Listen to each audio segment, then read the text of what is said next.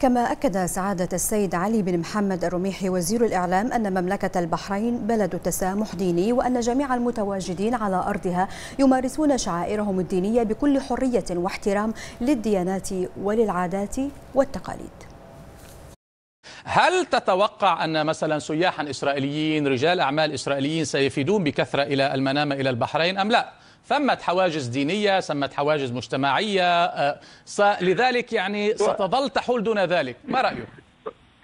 أنا أعتقد هذا الأمر ما ينطبق على البحرين. البحرين بلد آه، تجتمع فيه جميع الأديان وجميع العقائد. البحرين بلد آه، تسامح ديني. البحرين الكل يمارس شعائر الدينية بكل حرية. نعم. البحرين خلال الآن تصنف هي من أفضل دول العالم استقطابا للأجنبي.